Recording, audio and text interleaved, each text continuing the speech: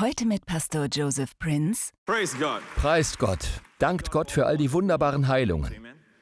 Gott ist ein Meister im Heilen. Gott liebt es, Menschen aufzurichten. Gott liebt es zu heilen. Gott liebt es zu verarzten. Gott liebt es wiederherzustellen. Gott ist kein Gott, der zerbricht, dich entmutigt oder bedrückt. Gott ist ein guter Gott. Er liebt dich. Er liebt dich. Und es gibt Menschen, die nicht einmal diese grundlegende Tatsache kennen, diese wichtige Tatsache über Gott, dass Gott ein liebender Gott ist. Und das ist der Ursprung und die Wurzel der Ursünde. Der Teufel kam zu Eva und sagte, hat Gott wirklich gesagt, ihr dürft nicht von jedem Baum im Garten essen? Der Teufel tut immer so, als wäre Gott nicht großzügig, als würde er euch etwas vorenthalten, als ginge es ihm nur um sein eigenes Wohl, als würde er sich nicht um euch kümmern. Aber das Kreuz von Jesus Christus zerstört diese Lüge, weil Gott, der uns so sehr liebt und der Jesus nicht hätte hingeben müssen, seinen Sohn sandte, um für unsere Sünden zu sterben. Amen. Letzte Woche haben wir darüber gesprochen, dass Gott heute gerecht ist, wenn er uns gerecht spricht. Die Frage wird im Buch Hiob gestellt. Wie kann ein Mensch, der von einer Frau geboren ist, vor Gott gerecht sein? Selbst unsere Gedanken sind Sünde. Wie kann also ein Mensch von einer Frau geboren vor Gott gerecht sein? Wir werden uns das in Kürze ansehen. Doch das Erstaunliche ist, Gott hatte einen Plan. Und vergesst nicht, dass Gott ein heiliger Gott ist. Wenn Gott bei seiner Heiligkeit Abstriche machen würde, würde das ganze Universum auseinanderfallen. Dann würde Gott nicht zu seinem Wort stehen. Wir nennen das den rechtlichen Teil Gottes. Seine Gerechtigkeit, seine Heiligkeit. Doch die Bibel definiert Gott nicht durch Heiligkeit. Sie sagt, Gott ist heilig in all seinem Handeln. Gott ist heilig in allem, was er tut. Deinem Haus geziemt Heiligkeit, o Herr. Aber das Wesen Gottes ist Liebe. Das bedeutet, Gott ist selbst aufopfernd. Und wir sehen seine Selbsthingabe am Kreuz. Gott liebt uns einfach. Wir möchten Gott immer einen Grund dazu geben, uns zu lieben.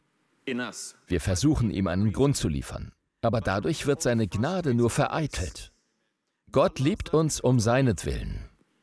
Gott ist gut zu uns, weil er gut ist, nicht weil wir gut sind. Gott ist gut zu dir, weil er gut ist. Unsere Freude muss in ihm sein. Amen. Gott hat also einen Weg gefunden, wie Christus für unsere Sünden haftbar gemacht werden konnte, indem er dafür starb. Die Heiligkeit Gottes nahm unsere Sünden und legte sie auf Christus. Dies wurde durch die Jahrhunderte hindurch angedeutet. Von der Zeit Adams im Garten, als Gott die Tiere tötete, um Adam und Eva zu kleiden, die soeben gesündigt hatten, als Beweis dafür, dass es ohne Blutvergießen keine Sündenvergebung gibt. Und fortan deutete jedes Passalam, jedes Lamm, jeder Ochse, der auf die Altäre, die jüdischen Altäre gelegt wurde, auf die Tatsache hin, dass es einmal ein sündloses Lamm geben würde. Als Jesus kam, zeigte Johannes der Täufer auf ihn und sagte, Seht, das Lamm Gottes, das die Sünde der Welt hinwegnimmt. Schließlich kam er. Amen. Gott kann keinen Menschen auf der Erde finden, der für uns stirbt, weil jeder Mensch Sünde in seinem Blut hat. Und deshalb die Jungfrauengeburt. Die Geburt durch eine Jungfrau, in die das Baby gelegt wurde. Der Same, der ewige Same, das ewige Wort, das Fleisch wurde. Er, der am Anfang bei Gott war. Es gibt keine drei Götter. Das Geheimnis der Dreieinigkeit ist, drei in einem und einer in drei. Doch von ihm, der am Anfang bei Gott war, heißt es im Buch der Sprüche, ich war Tag für Tag seine Wonne und freute mich vor seinem Angesicht alle Zeit. Dieser kam herab. Er wurde als Fötus in den Schoß seiner Mutter gelegt. Und deshalb gab es kein menschliches Zutun. Denn Gott kann nicht zulassen, dass menschliches Blut das Baby beeinträchtigt. Das ganze Blut des Babys kam direkt vom Vater. Und die Wissenschaft weiß, dass auch Mutter Maria nicht ihr Blut geben kann. Die Plazenta dient nur dazu, dem Baby Nahrung zuzuführen und Abfallstoffe vom Baby wegzubringen. Gott in seiner Weisheit wusste all das, bevor die Medizin das herausfand. Und der ganze Zweck war, dass dieses Baby geboren wurde, um das vollkommene Lamm für all unsere Sünden zu sein. Und nun, da er gestorben ist, hat Gott einen Weg gefunden. Einen Weg, bei dem seine Heiligkeit nicht in den Hintergrund gedrängt werden muss. Wo Gott quasi sagt, ich weiß, ich weiß, ich bin gerecht. Ich weiß, ich muss die Sünde bestrafen wie ein Richter. Ein Richter taugt nichts, wenn er nur hinter seinem Schreibtisch sitzt und ein Urteil spricht und der dann den hartgesottensten Kriminellen freispricht, weiterhin kriminell zu sein und Straftaten zu begehen und lässt ihn davonkommen. So ein Richter ist kein Pfifferling wert. Irgendetwas stimmt nicht mit ihm. Er sollte mal gründlich untersucht werden, nicht wahr? Eine Gesellschaft zerfällt, wenn es kein Recht und keine Ordnung gibt. Gott ist also gerecht und kann bei seiner Gerechtigkeit keine Abstriche machen. Doch am Kreuz ist der gerechte Christus für uns alle gestorben. Für die Schuldigen. Der Unschuldige. Für jene, die gegen Gott gesündigt haben. Gott hat einen Weg gefunden. Und, liebe Gemeinde, wenn Gott nun den Sünder, den armen, elenden Sünder abweisen würde, dann würde Gott sinngemäß sagen, was Jesus am Kreuz getan hat, war vergebens. Und Gott würde sich bei Jesus entschuldigen müssen, was er nicht tut, denn Gott entschuldigt sich bei niemandem. Wisst ihr, warum Gott sich bei niemandem entschuldigen muss? Weil er in seinen Worten, Gedanken oder Taten nie einen Fehler gemacht hat. Gott ist gütig, aber er muss sich nie entschuldigen. Ich weiß, einige von euch wollen, dass er sich entschuldigt. Das kann er nicht. Er ist nicht wie ihr und ich. Er wird nie ein Wort zurücknehmen müssen. Er muss nie etwas rückgängig machen, was die Werke seiner Hände betrifft. Er muss nie Buße tun. Wir müssen es. Gott muss es nicht. Gott muss sich also, wie gesagt, nicht bei Jesus entschuldigen, denn Gott sandte Jesus zu diesem Zweck, damit jetzt seine Heiligkeit verherrlicht wird. Wenn der Teufel zu Gott kommt und sagt, wie kann diese Person, dieser Bruder da drüben, dich wie ein Sohn anbeten? sagt Gott. Er ist mein Sohn. Wie kann das sein? Gott sagt, weil seine Sünden bezahlt worden sind. Nein, du sagst, dass jemand, der sündigt, sterben muss. Und Gott verweist den Teufel auf das Kreuz. Ich verrate euch etwas über den Teufel. Er versteht das Gesetz. Gnade kann er nicht verstehen. Gnade ist jenseits seines Horizontes. Versteht ihr? Der Teufel ist ein Anwalt. Nun möchte ich all unseren Anwaltsfreunden sagen, Jesus ist ein Anwalt seit 2000 Jahren und vertritt uns zur Rechten des Vaters. Versteht ihr? Deshalb muss ich heute die grundlegenden Fakten erläutern. Gott ist gerecht, wenn er dich und mich gerecht spricht. Der Grundgedanke ist, dass Gott, wenn er dich nicht gerecht spricht, wenn er den Sünder nicht gerecht spricht, ungerecht ist. Wem gegenüber? Dem gegenüber, was Christus getan hat. Nun sagt ihr aber, Pastor Prince, wieso kann mein Gott uns ohne das Opfer Christi nicht gerecht machen? Was für ein großes Opfer, was für ein teurer Preis, den Gott zahlen musste. Nein, es gibt keinen anderen Weg. Die Sünde muss bestraft werden und die Sünde ist bestraft worden. Unser ganzes Leben voller Sünden wurde am Leib von Christus bestraft. Das ist also keine Verharmlosung der Sünde. Vielmehr zeigt es, wie ernst und wie schrecklich die Sünde ist dass der Sohn Gottes sterben musste. Auf der anderen Seite zeigt es uns die Liebe Gottes, wie wunderbar Gottes Liebe ist, wie sehr er uns liebt. Denn es war sein Sohn, der starb, nicht du und ich. Preist ihn, Gemeinde. Das ist ein herrliches Evangelium, das wir predigen. Das ist die wunderbare Erlösung, die Christus für dich und mich vollbracht hat. Die Bibel sagt, ich verwende die Sprache des Römerbriefs, der vom Heiligen Geist inspiriert ist, Gott ist gerecht, wenn er euch gerecht spricht. Mit anderen Worten, Gott ist nicht barmherzig oder mitleidig, wenn er euch gerecht spricht.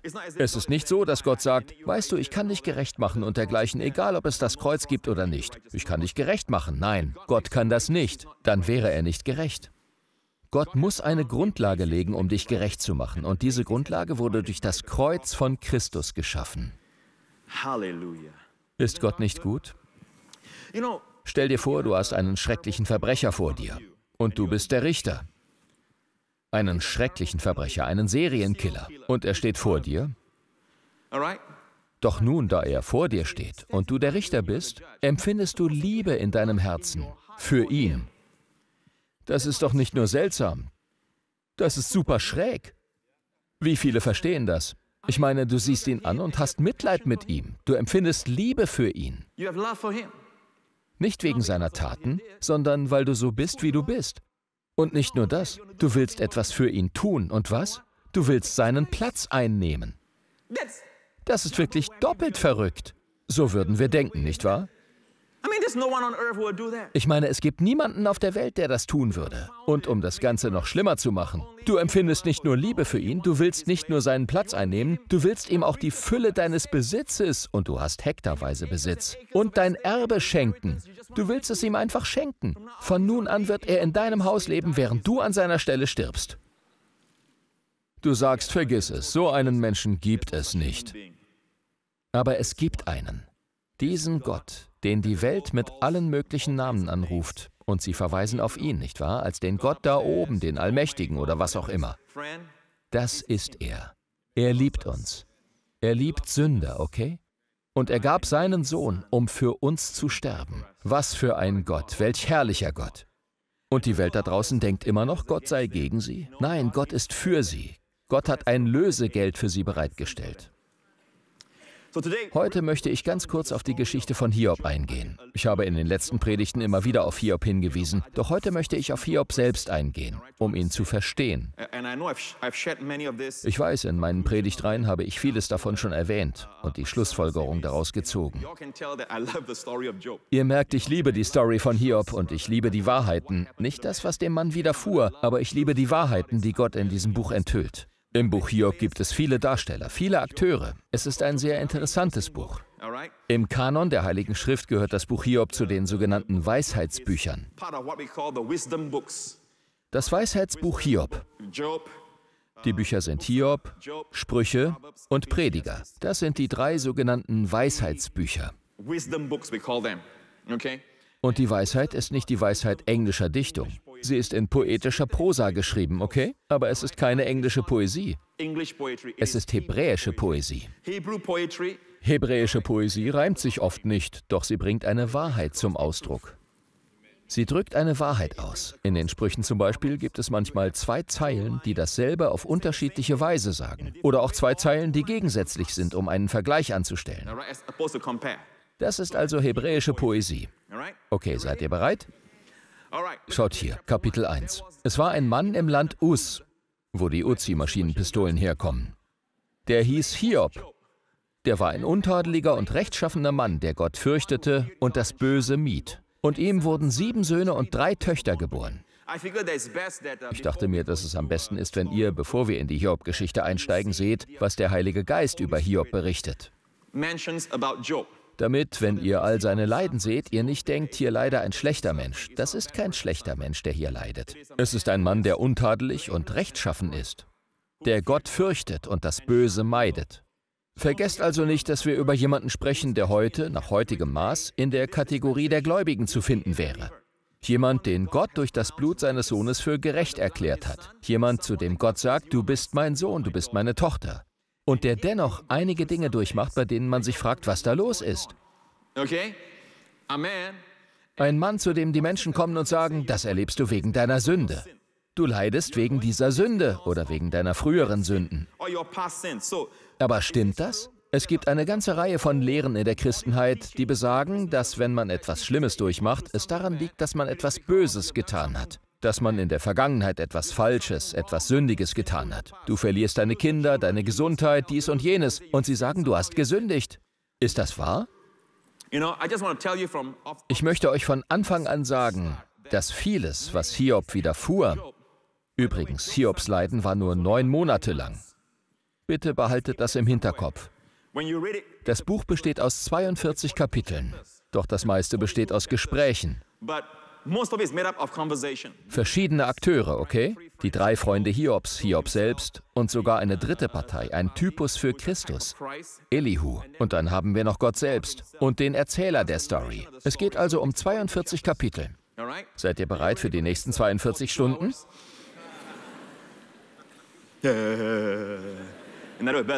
Wo ist der Ausgang? Alles klar, also keine Sorge. Der Herr ist mit mir, wisst ihr? Und er ist gütig und langmütig und geduldig. Auch wenn ihr es nicht seid. Ich sorge dafür, dass die wichtigsten Wahrheiten ankommen. Übrigens ist es das älteste Buch der Bibel. Hiob lebte höchstwahrscheinlich vor Abraham. Und obwohl es das älteste Buch ist, bedeutet das nicht, dass er der älteste Mensch ist. Er lebte vor Abraham. Das ist sehr interessant. Hiobs Wahrheiten handeln nicht von Israel, denn Israel gab es noch nicht. Israel wird aus den Lenden Abrahams hervorgehen. Israel, ist Gottes Bundesvolk, nach Abraham, von Abraham. Wenn man also keine Wahrheiten über Israel findet, dann findet man auch nichts über das Gesetz. Zwar spricht das Buch über Ehebruch, über Lügen, über das, was wir den Moralkodex nennen. Aber das Gesetz war Israel zu diesem Zeitpunkt noch nicht gegeben. Und dennoch sind die Prinzipien allgemein gültig. Das müssen wir verstehen. So können wir in Hiob viele Wahrheiten erkennen. Übrigens ist es sehr interessant, dass das älteste Buch der Bibel viele wissenschaftliche Fakten enthält, lange bevor die Wissenschaft diese Tatsachen erkannt oder entdeckt hat. In Hiob 25 oder 26 heißt es zum Beispiel, Gott hängt die Erde über dem Nichts auf. Woher um alles in der Welt wussten sie, dass Gott die Erde über dem Nichts aufhängt? Hat jemand einen Space Shuttle genommen? Ist in das Universum, in die Milchstraße hinausgeflogen und hat zurückgeschaut? Woher um alles in der Welt wussten sie das? Gott, der Schöpfer, hat sie inspiriert, das zu schreiben. In einem anderen Vers heißt es, der Mensch wird an seinen Händen erkannt. Und damit sind die Hände mit den Fingerabdrücken gemeint. Lange bevor das Abnehmen von Fingerabdrücken zu einer Technik, zu einer Wissenschaft wurde. Es wird beschrieben, dass Wolken Wasser enthalten, das Wasser ins Meer fließt und wieder aufsteigt. Im Buch Hiob wird von Kondensation gesprochen. Sehr interessant. Wenn ihr schon länger hier seid, wisst ihr ja noch, dass ich einiges zu dem Thema geschrieben habe. Das Buch spricht über den Orion, die Sterne, die Plejaden. Wenn du dich auf dem Meer verirrst als Seemann und du verlierst deine Fähigkeit zu navigieren und all das ist nicht mehr vorhanden, so gibt es eine Möglichkeit. Du kannst nachts in den dunklen Himmel schauen, um zu erkennen, in welche Richtung du fährst. Da gibt es das Kreuz des Südens. Gott hat das Kreuz aufgestellt, damit man weiß, wo Süden ist. Es sieht buchstäblich wie ein Kreuz aus. Und wenn du ein Kreuz findest, findest du den Weg nach Hause. Hallelujah. Die Australier haben das als Flagge genommen, wenn ihr versteht, was ich meine. Doch es ist für alle da. Es gilt für alle. Aber wir werden uns jetzt nicht mit dem Hintergrund von Hiob und dem historischen Wahrheitsgehalt der Heiligen Schrift beschäftigen, okay? Das ist nachgewiesen. Wir werden uns nicht über wissenschaftliche Fakten streiten, auch nicht mit denen, die wissenschaftlich geprägt sind. Wir wollen die Wahrheiten, die Gott, der Heilige Geist, uns vermitteln will, möglichst anschaulich auf den Punkt bringen. Also halten wir zunächst fest. Er ist ein Mann, von dem Gott selbst sagt, später als der Satan zu Gott kam, hast du meinen Knecht Hiob beachtet? Er nannte ihn meinen Knecht, einen untadeligen und rechtschaffenen Mann, der Gott fürchtet und das Böse meidet. So nennt Gott selbst Hiob. Und das sagt Gott heute auch über dich und mich, dass wir aufrecht, untadelig und vollkommen in Christus sind. Nicht in uns selbst, sondern in Christus. Das sagt Gott über uns. Aber die Sache ist die, nur weil ihr vollkommen untadelig und aufrecht seid, heißt das nicht, dass es keine Wurzel gibt, die behandelt werden muss. Hört ihr zu? In uns allen. Die Wurzel Nummer eins, die Gott aus unserem Leben entfernen will. Daher gibt es einige Dinge, die Gott in unserem Leben zulässt, damit diese Wurzel der Selbstgerechtigkeit, alle sind schuld, nur ich nicht, beseitigt wird. Der Pastor ist schuld. Diese Person ist schuld. Jene Person ist schuld. Ich bin es nie. Meine Eltern sind schuld. Meine Verwandten sind schuld. Die Regierung ist schuld. Das ist ein Zeichen von Selbstgerechtigkeit. Viele Menschen glauben nicht, dass sie selbstgerecht sind. Auch Hiob nicht. Doch ich sage euch hier und jetzt, die Wurzel all seiner Probleme ist Selbstgerechtigkeit. Nun, der Satan machte es noch schlimmer. Es gibt also etwas, was die Wort des Glaubensbewegung, ich predige zwar auch das Wort des Glaubens, doch die Wort des Glaubensbewegung glaubt nicht, dass Gott züchtigt. Ich glaube, dass Gott züchtigt. Doch damit will ich sagen, dass Gott uns züchtigt wie ein Vater seine Kinder. Aber Gott züchtigt nicht durch Autounfälle, nicht durch Krankheit und Seuchen.